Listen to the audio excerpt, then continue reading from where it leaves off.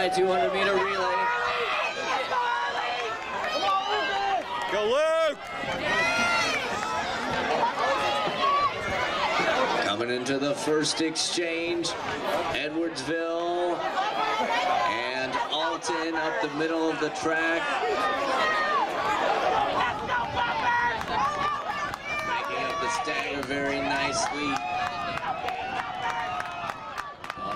Fallon moving up on the inside. Into the second exchange we come, Edwardsville into the lead. O'Fallon just behind.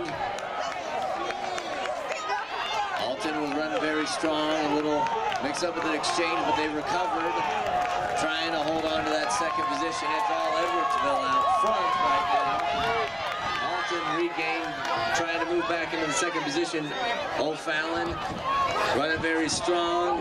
Alton hands off into second, followed by Belleville West and O'Fallon. But down the home stretch, it's all the Edwardsville Tigers here